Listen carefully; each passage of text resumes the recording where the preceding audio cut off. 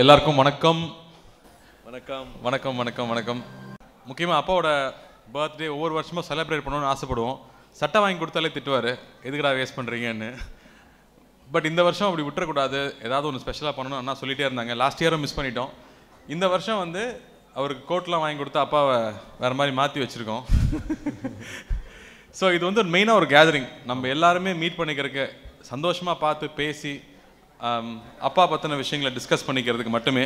So அப்பாவுக்கு பாராட்ட விழானா சுத்தமாக பிடிக்காது. ஸோ பர்த்டேல ஒரு கெட் டுகெதர் டிடி நம்ம வீட்டு பொண்ணு மாதிரி டிடி வந்திருக்கு. மைக் எடுத்துட்டு வரும். அப்பா கூட ஸ்பெண்ட் பண்ண மூமெண்ட்ஸ் வந்து ரீகலெக்ட் பண்ணணும் மறுபடியும் ஞாபகப்படுத்தணும் ஷேர் பண்ணணும்னு நினச்சிங்கன்னா பேசலாம். ஸோ இப்போ எங்கள் வேலையை வந்து டிடி எடுத்துக்கிறதுக்காக டிடியை கூப்பிட்றோம். டிடி வந்தாச்சா? இங்க இருக்கேன். வாதாயி பாருங்க.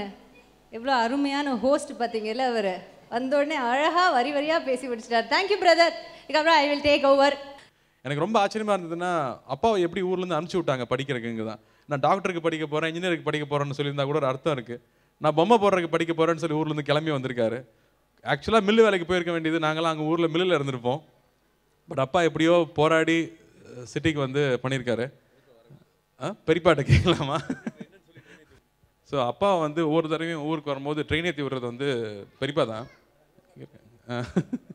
பெரியப்பா என் எப்படி சொல்லி ஏமாத்தி உங்களெல்லாம் வந்து ட்ரெயினில் ஏறி வந்தார் அவர்? ஏமாத்தல அவர். இல்லை அவங்க வரவன்னு தான் வந்தார். வந்து பார்த்து எப்படியாவது முன்னேறணும்னு சொல்லிட்டு இங்கே வந்தார். சரி ஊருக்குள்ளே கேட்பாங்கல்ல உங்க உங்க தம்பி என்ன இப்படி வந்து உருப்படாத படிப்பா நம்ம பொம்மை பொம்மை போடுறதுக்கு போறேன்ட்டு போறானே? ஒரு டாக்டர் இன்ஜினியர் படிக்கிறான்னு என்ன சொல்லுவீங்க? என்ன பதில் சொல்லுவீங்க அவங்க கிட்ட போய் கேட்டிருந்தாங்க. என்ன பதில் நான் என்ன பதில் எனக்கு எது பதில் சொல்ல தெரியாமல் ஆர்டிஸ்ட்னு சொல்கிறதுக்கு ஆர்டிஸ்ட் வேலைக்கு போயிட்டு சொல்லிட்டு இருந்தேன். அதை அவங்க கேட்டுக்குவாங்க அப்படியே. சென்னையில் வந்து ஆர்ட்ஸ் காலேஜில் படிச்சீங்க. ஆர்ட்ஸ் காலேஜ் பசங்கெல்லாம் அருந்த வாளுங்கன்னு சொல்லுவாங்களே சார். நீங்கள் சேட்டை பண்ணியிருக்கீங்களா? சார் நீங்கள் தயவு செய்து இப்படியே சொல்லாதீங்க சார். பொய் சொல்கிற மாதிரி எனக்கு தெரியுது. என்ன மேம் நீங்கள் சொல்லுங்க மேம் சேட்டையா சேட்டை இல்லையா? அவரை பார்த்தா அப்படி தெரியுதா என்ன? பார்த்தீங்கல்ல சொல்டா நீ சொல்டாவா? அவங்க பெஞ்ச் மார்க் அவங்க சொன்னா வாயை மூடிட்டு கேட்டுக்கணும்.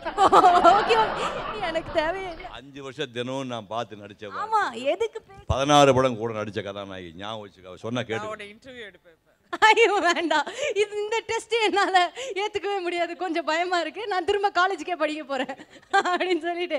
யார் அந்த கிளாஸ்மேட் மதுரை சந்திரசேகர். சார் நீங்க கிளாஸ்மேட்டா வாங்க சார் உங்களை தான் சார் தேடிட்டு இருக்கேன். சும்மா எப்போ பாரு பாவம். சூர்யானாவையும் கார்த்தியானா ஒழுங்கா ஒழுங்கா இருக்கணும் ஒழுக்கமா இருக்கணும் ஒழுங்கா இருக்கணும் ஒழுக்கமா இருக்கணும். அந்த புள்ளைங்க பாவம். அதிர்ந்து கூட பேச மாட்டேங்குதுங்க. இவர் எப்படி? ரொம்ப தங்கமானவர். அட போங்க சார். உண்மை- உண்மையை பேசணுமா இல்லையா? பொய் சொல்லக்கூடாது. ஐந்து வயது வரைக்கும் அவர் இடது கையில் சாப்பிட்டவர் அவர். ஐந்து வயது வரைக்கும் லெஃப்ட் லெஃப்டிஸ்ட் அவர். எங்கள் காலேஜில் படிக்கும்போது கூட ரைட்லேயும் கிரையான் ஸ்கெச் பண்ணுவார் லெஃப்ட்லேயும் கிரையான் ஸ்கெச் பண்ணுவார். நோபடி டிஃபரன்ஷியேட் ஆர்டிஸ்ட் பண்ணவே முடியாது. அவ்வளவு பெஸ்ட்டு லெஃப்டில் அவ்வளோதான் பண்ணுவார். ஆனால் அங்கிள் ஒரு நிமிஷம். இதெல்லாம் நாங்கள் ஒத்துக்க முடியாது. அவர் வந்து அவர் போடுற ட்ரெஸ்ஸு அவர் போடுற தொப்பி எல்லாம் ஓவர் ஸ்டைலாக இருந்துச்சு. உங்கள் கிளாஸில் பொண்ணுங்களே இல்லையா? இல்லை உங்களுக்கு பக்கத்து காலேஜில் பொண்ணுங்களே இல்லையா? யாருமே இவர் வந்து ஐ லவ் யூ சொன்னது இல்லையா? இல்லை இவர் யாருக்கு ஐ லவ் யூ சொன்னது இல்லையா? நான் ஒன்று சொல்றேன். இவர் உங்க உங்க வீட்டுக்கார அம்மாவோட வந்திருக்கீங்களா? அது பார்த்து பார்த்து பேசுங்க. இல்லை இல்லை. இங்கே பாருங்க. எங்கள் எங்கள் காலேஜ்லேயே வந்து எங்கள் செட்டில் வந்து தேர்ட் இயரில் தான் ஒரு மலையாள கேர்ள் பத்மினின்னு ஒரு பொண்ணு மலையாள பகவதி? ஜெசி ஜெசி கிராஸ் ஆயிருக்காங்க. சொல்றதை கேளுங்க சொல்றதை கேளுங்க. அந்த கேளை எவனுமே லவ் பண்ணவே மாட்டாங்க. சகோதரி மாதிரி பாய்ப்பான் அந்த மாதிரி ரொம்ப குணம் உள்ளவங்க அவங்க. ரொம்ப நல்லவங்களா இருந்திருக்கீங்களே. நீங்க நீங்க நான் பொய் சொல்லல உண்மையை தான் சொல்றேன். சரி. அப்புறம் இந்த லெஃப்ட் சொன்ன பாருங்க அதுக்கு ஒரு இன்சிடென்ட் வந்து இவர் கந்தன் கருணையில் நடிக்கும் போது அப்போ வந்து இவர் லெஃப்டில் தான் ரொம்ப இதாக இருக்கிறதுனால முருகன் வந்து ஒரு வேலை எரியணும். அப்போ வந்து இவர் லெஃப்டில் தான் எடுத்து எரிஞ்சார். அப்போ ஏபி நாகராஜன் சொன்னார் முருகன்யா முருகன் வந்து வலது கையிலேயே தூக்கி எறியணும் நீ லெஃப்டில் தூக்கி எறியணும் அதுக்கப்புறம் கஷ்டப்பட்டு ரைட்டில் எரியும் போது தௌசண்ட் வாட் பல்பை உடைச்சிட்டாரு. இதுக்கு தான் ஒரு நண்பன் வேணுங்கிறது. எப்படி பல்பு கொடுக்குறாரு பாருங்க